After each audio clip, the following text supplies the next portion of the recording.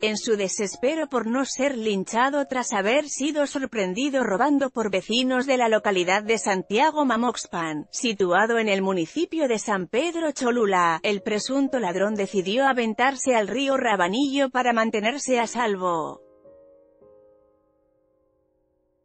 De acuerdo con el Sol del Puebla, el hombre, que fue identificado como Gerardo N., de 33 años de edad, fue perseguido y acorralado por los vecinos quienes lo amenazaron de lincharlo, pues se dijo que había robado una bicicleta. Un vecino lo vio y eso bastó para que el resto de los habitantes de dicha localidad se enteraran y se formara un grupo de 40 personas para perseguir al presunto delincuente.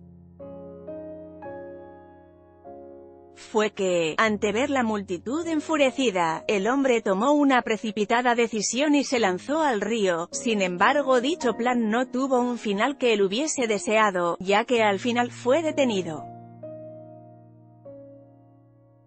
En esta nota, Puebla ladrón avienta a Río evita ser linchado Santiago Mamoxpan San Pedro Cholula.